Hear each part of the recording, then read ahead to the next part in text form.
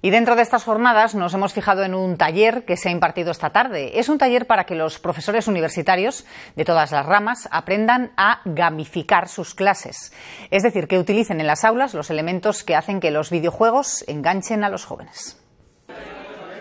En esta clase los alumnos son profesores universitarios y sí, están jugando.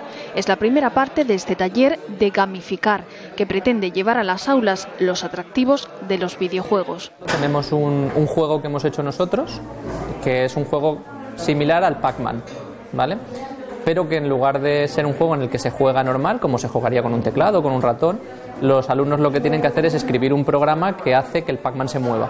Y entonces ellos tienen que superar laberintos igual que una persona, pero programándolo. Es un ejemplo para clases de informática, pero el taller vale para docentes de cualquier rama porque no consiste en llevar videojuegos al aula, sino en copiar su filosofía.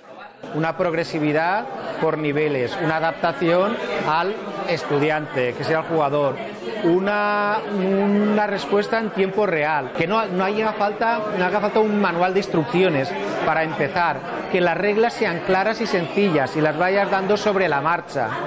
Todas esas características son las que si lo incorporáramos a la propuesta docente, suponemos que los jóvenes se engancharían más. ¿Hace falta un videojuego para hacerlo? No.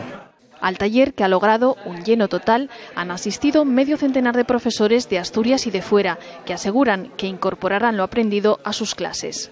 Sobre todo para, para explicar algunos lenguajes que resultan algo complicados de utilizar. Los mecanismos de premios, los mecanismos de puntos, el dar eh, banderolas.